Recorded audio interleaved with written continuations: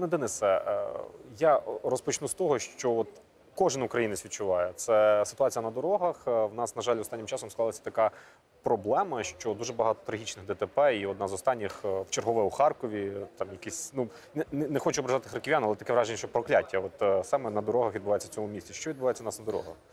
Насправді, я як міністр внутрішніх справ, три місяці вже міністр, щодня отримую сводки про ДТП, які трапляються в Україні. Це багато ДТП без жертв, але дуже багато також і загиблих.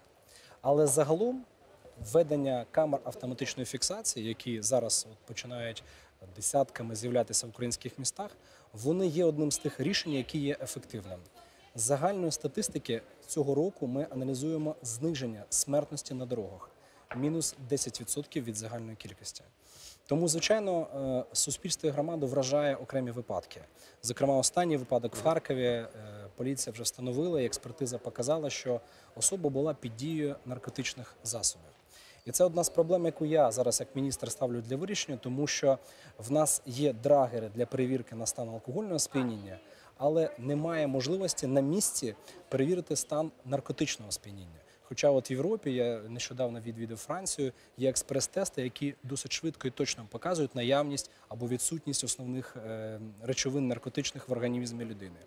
Тому е, я думаю, що на це ми можемо спільно з міською владою, з місцевою владою вплинути. І насправді е, це має знизити от перебування таких осіб за кермом.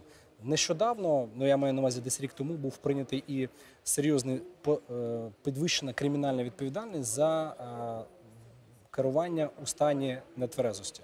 Збільшені були штрафи, і в принципі це вплинуло саме на цей стан.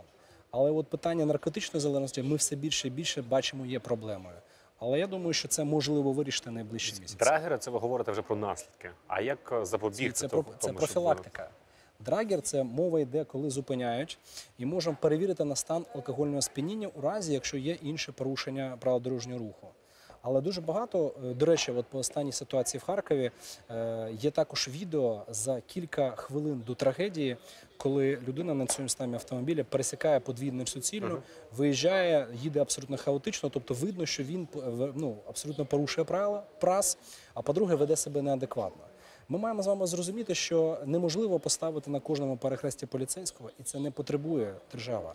Але можемо шукати вихід, наприклад, в такій історії, що можна запровадити, є вже така законодавча ініціатива в парламенті, щоб самі громадяни, фіксуючи на е, реєстратори в своїх автомобілях порушення, наприклад, подвійне суцільне або проїзд на червоне світло, могли передавати ці відео в правоохоронні органи, в поліцію, зокрема, і завдяки в цьому особа могла би притягатися до адміністративної відповідальності.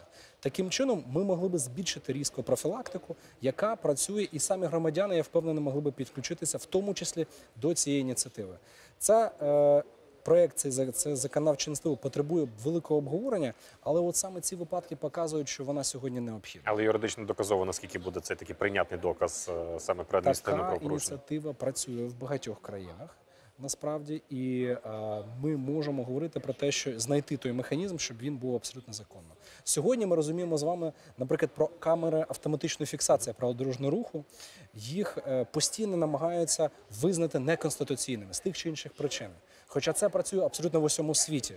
Але в нас подають суд і кажуть, що це є неконституційно. Неконституційно фотографувати, як людина порушує правила дорожнього руху. Я з цим абсолютно не згоден як міністр і вважаю, що це якраз і є той крок. І наступного року, до речі, я планую збільшити в рази кількість камер на е, українських дорогах завдяки механізму концесії, тому що я бачу їхню ефективність і там, де безпосередньо встановлюється камера, а камера встановлюється на аварійних ділянках е, дороги, там абсолютно зменшується аварійність і головне це смертність. скільки? Якщо не помиляюся, на зараз е, до кінця року має бути близько 300 камер по Да, Україні. але потребуємо ми е, понад 2 тисячі камер по території України для того, щоб ефект був дійсно показовим. І зараз ми пропрацьовуємо з кількома компаніями варіанти концесійної закупки е, таких камер, встановлення протягом наступного року, для того, щоб це було збільшено на всю територію України. Я особисто як водій, теж можу сказати, що це дійсно профілактичний, дійсно профілактичний фактор. Крім цього, можу сказати, що дуже ефективним є так звані автомобілі фантоми. Вони також зараз будуть от в найближчий час запущені на е, вулиці українських міст, де без розпізнавальних знаків автомобіль буде їздити і фіксувати швидкість автомобілів, які їздять е, поруч з ним, назустріч до нього, і також можна буде фіксувати правопорушення. Тільки такою профілактикою і спільною громадянською позицією ми можемо протистояти цим е, рішенням.